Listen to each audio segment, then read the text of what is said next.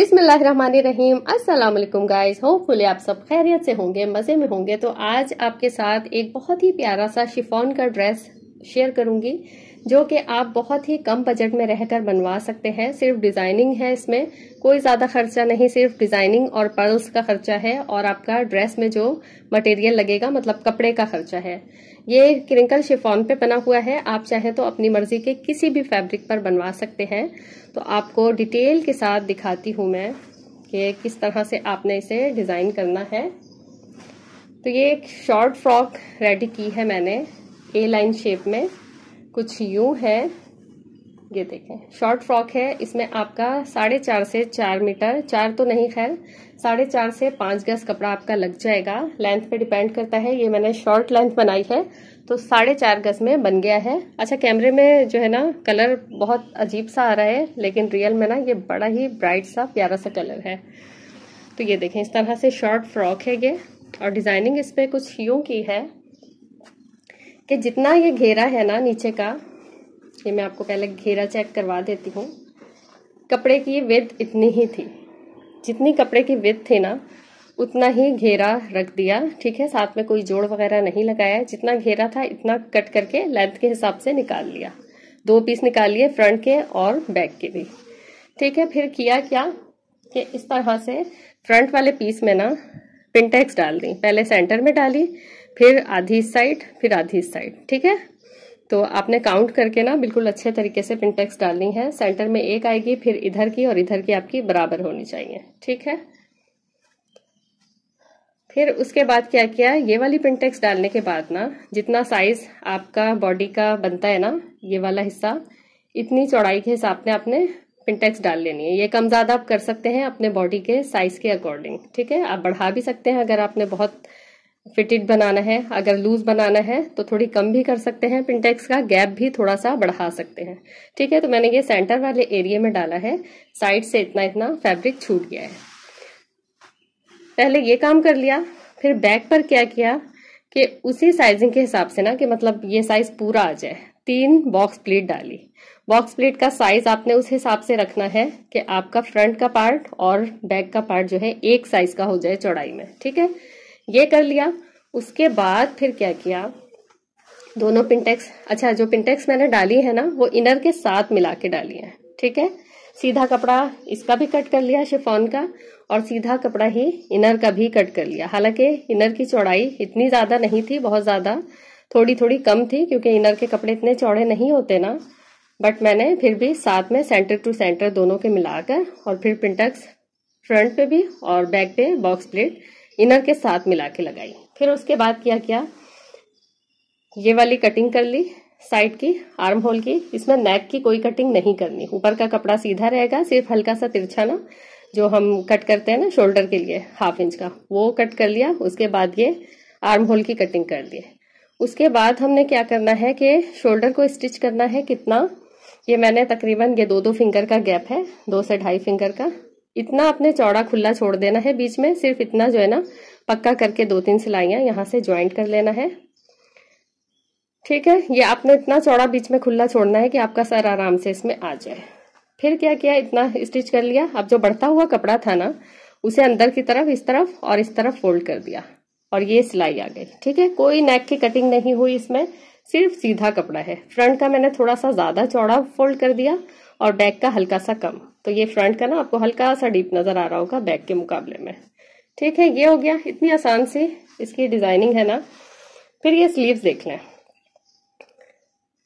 ये स्लीव्स जो है ना, एक ही हिस्से में कट की हुई है पूरी लंबी और इसकी ना थोड़ी लंबी स्लीव्स बनाते हैं। जितना आप मतलब इतना पहनते हैं ना तो उससे एक हाथ, दो हाथ बड़ी बनानी है स्लीव्स आपने। फिर इतना जो है ना हाफ़ इंच हाफ़ कह रही हूँ हाफ़ इंच कह रही हूँ सॉरी हाफ़ स्लीव्स जितना फैब्रिक छोड़कर और यहाँ हमने इलास्टिक की सिलाइयाँ चलानी है, ठीक है? बट उससे पहले ये हाफ़ वाले में ना मैंने इनर अटैच कर लिया था, ये देखा। सिंपल जिस तरह से स्लीव्स कटती है, कट कर ली, जितना आपका स्लीव्स का साइज़ है, उससे दो हाथ बढ़ा के आपने कपड़ा लेना है लंबा, क्योंकि इसमें इलास्टिक डलनी है नीचे। ठीक है? फिर क्या किया कि हाफ़ में ना इनर अटैच कर लिया, इस तरह से ऊपर और फिर जब इनर अटैच हो गया ना तो फिर यहाँ से आपने सिलाइयाँ चलानी है। अच्छा आप ये भी कर सकते हैं कि ये हाफ़ पार्ट अलग तैयार कर लें और ये वाला पार्ट इलास्टिक वाला अलग तैयार कर लें। फिर उसके बाद ना, ये दो सिलाइयाँ इलास्टिक की चलाई हैं ऊपर की तरफ़, ठीक है? और दो सिलाइयाँ चलाने के बाद ना बॉबिन इलास्टिक की, इस पर ये पर्ल्स अटैच कर ली। यहाँ पर थोड़े थोड़े गैप से इस तरह, और ये तीन इस तरह से शोल्डर पे अटैच कर ली पर्ल्स ठीक है? कुछ ये यहाँ स्लीव्स पर गैप गैप से। और फ्रंट का जो है ना, इसी तरह से हेमिंग कर ली और थोड़ी फिटेड स्लीव्स ये बनती हैं।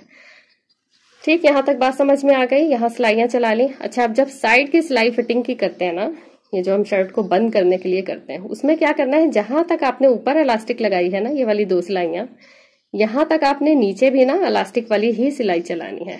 ठीक है? ये देखें। जहाँ तक हमने ये ऊपर पर्ल वाली जो जगह है, सिलाई इलास्टिक वाली चलाई है ना, यहाँ तक नीचे की भी इलास्टिक वाली चलानी है। उसके बाद से फिर नॉर्मल धागे से इस तरह से फ्रॉक को बंद कर लेना है, ठीक? अब फ्रॉक को जब बंद किया है ना तो ये देखें। बंद करते हुए क्या किया? इनर क्योंकि इतना चौड़ा नहीं था और साथ में अटैच ना रखना भी नहीं था।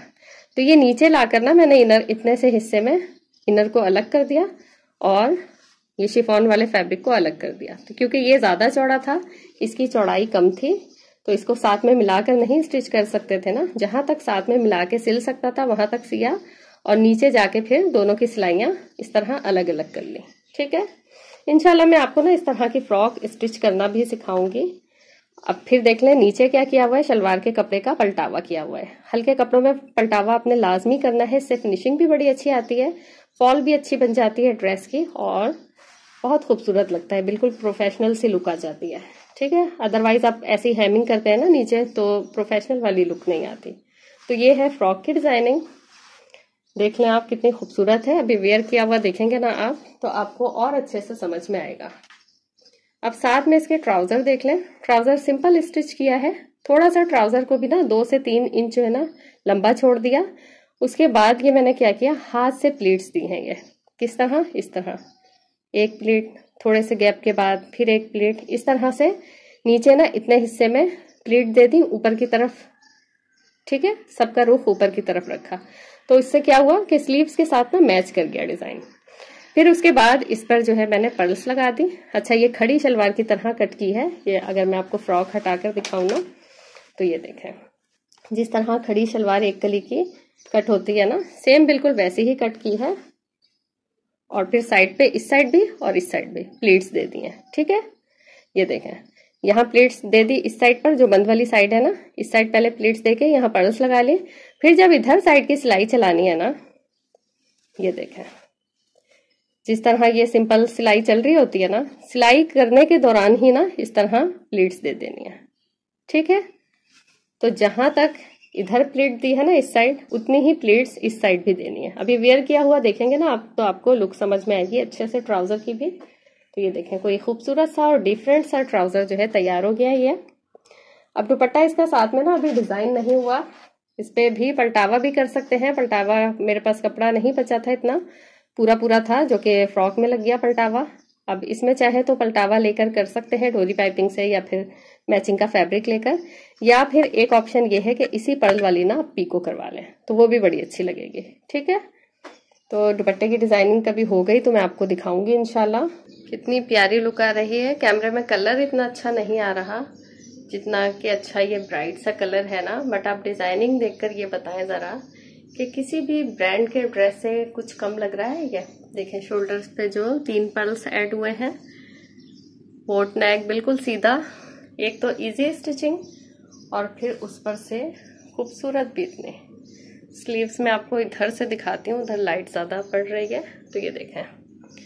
वेयर करने के बाद हसीन कोई ड्रेस है ये। ठीक है? हल्की हल्की सी एम्बेलिशमेंट और छोटी छोटी सी टेक्निक्स के साथ ना आप ड्रेस को बहुत हसीन बना सकते हैं। कम खर्चे में जो है ना, किस तरह से आप ये देखें, पलटावा लगाने से लुक कितनी अच्छी आ रही है। ट्राउज़र देख लें, वेयर करने के बाद कितना खूबसूरत लग रहा है। जस्ट दुपट्टे में जो है ना, डिज़ाइनिंग हो जाए तो कमाल ही हो जाए। तो जस्ट इसमें इसी साइज़ की पर्ल्स की ना दूर दूर पे जो होती है ना, धागे वाली पीको और फिर दूर दूर पे पर्ल्स लगे होंगे। तो बड़ा खूबसूरत सा ड्रेस कंप्लीट हो जाएगा। कैसा लगा ड्रेस आपको? आपने मुझे लाजमी बताना है। और स्क्रीनशॉट अगर वेयर किया हुआ लेना है ना तो आप इस तरह से ले सकते हैं। और स्लीव्स का इस तरह से। तो इस तरह से आपने थोड़ी थोड़ी सी टेक्निक्स डिज़ाइनिंग आइडियाज़ लगाकर ना अपने ड्रेस को खास बनाना होता है। ज़रूरी नहीं कि आप महँगे महँगे खर्चे करके लेसिस लगाकर काम बनवाकर ही अच्छा कर सकते हैं ड्रेस को। जस्ट आप ना अच्छी सी डिज़ाइनिंग ऐड करें, थोड़ी बहुत चीज़ें एम्बेलिशमेंट के लिए लगाएँ तो भी आपका ड्रेस बहुत खूबसूरत बन सकता है। तो ये थी मेरी आज की वीडियो, उम्मीद है आपको पसंद आई होगी। अगर पसंद आई है तो वीडियो को एक लाइक कर दें, चैनल को सब्सक्राइब कर दें, फिर मिलेंगे इंशाल्लाह नेक्स्ट किसी अच्छे से आइडिया के साथ। अपना बच्चों का, बड़ों का ख्याल रखिएगा, खुश रहेगा खुशियाँ बांटिएगा। अल्लाह हाफिज़।